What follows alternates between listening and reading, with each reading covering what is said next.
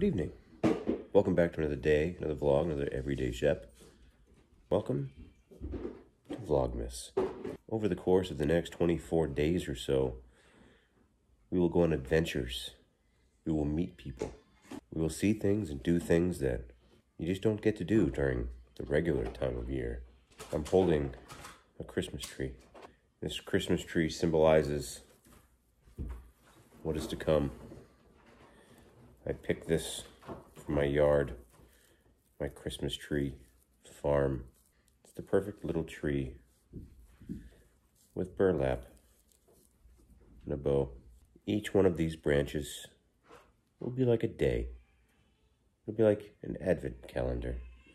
And we will eat a branch for every day that goes by, symbolizing that we're getting ever so close to the special day.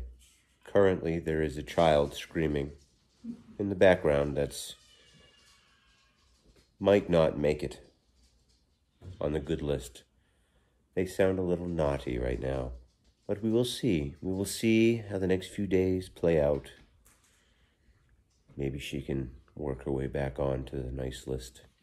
Jenny is currently cleaning up toys in the room. Dogs are barking, waiting for Santa to arrive. I hope you've learned something in this episode, this day one of Vlogmas. This is the intro, the intro of what is to come. There'll be many things to come. Many. Jingle bells, jingle bells, jingle all the way.